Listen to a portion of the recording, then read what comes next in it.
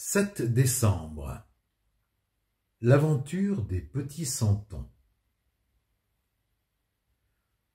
Quand s'ouvre la porte de la boutique, quelques flocons de neige viennent blanchir le sol de l'entrée. Un souffle froid fait frissonner les santons de Provence. dit l'un d'eux en tremblant. Fait pas chaud ici. Ils sont arrivés hier de leur pays natal poussés par le Mistral. Ils ont fait un long trajet, délicatement enveloppé dans du papier de soie, enfermé dans une caisse. Ils ont hâte, maintenant, de retrouver la douceur d'une crèche et les lumières de Noël. En attendant, ils sont bien installés dans la vitrine, sur un lit de copeaux. Emmitouflés dans leurs écharpes, des enfants collent le nez contre la vitre. Les petits personnages en terre cuite sont rêveurs. Où vont-ils être invités à fêter Noël? La petite cloche de la porte teinte. Une fillette, avec sa maman, s'agenouille pour examiner de plus près les santons. Fais attention, Lisa, ils sont fragiles. Maman, ce monsieur appuyé sur son bâton, c'est Joseph?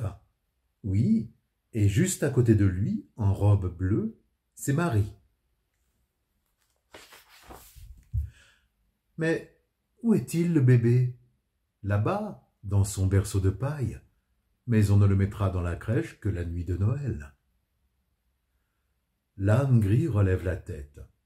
Avec son ami le bœuf, ils réchaufferont de leur souffle le nouveau-né. Le petit berger et son agneau leur chuchotent à l'oreille.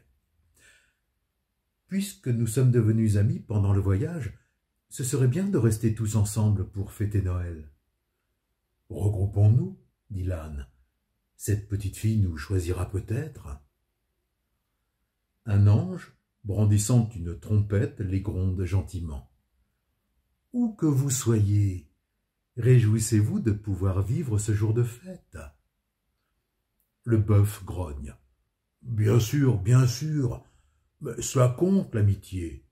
Je préfère rester avec l'âne gris plutôt que de partir avec ce grognon de chien. Gardons notre calme, les apaise Joseph. D'ailleurs, où sont les rois? Ils étaient près de nous il y a quelques minutes. Là, nous nous sommes mis un peu à l'écart, répondent ensemble Gaspard, Melchior et Balthazar. N'oubliez pas que nous n'arriverons de nos pays lointains que le 6 janvier, le jour de l'Épiphanie. Nous ne pouvons pas nous séparer ainsi après un si long périple. Vous devez rester avec nous, exige le pêcheur au filet et le tambourinaire.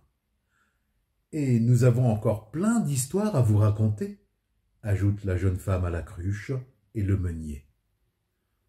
Lisa les regarde intensément. Maman, est-ce que je peux choisir les santons? L'âne, le bœuf et le petit berger observent la fillette.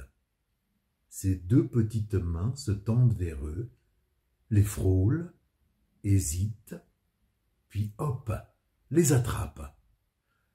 Je voudrais cela, dit-elle, avec Marie, Joseph et Jésus. N'oublie pas les rois mages, rappelle sa maman. Ils sont là, ils sont là crie de toutes ses forces le jeune berger. Lisa s'empare des trois rois mages, puis le meunier, la femme à la cruche, le pêcheur au filet et le tambourinaire rejoignent vite le comptoir du magasin. Ouf On est au complet se réjouissent l'âne et le bœuf. Maintenant, c'est sûr, s'exclame le petit berger. On fêtera longtemps Noël ensemble. C'est ça Noël. Allez, à demain.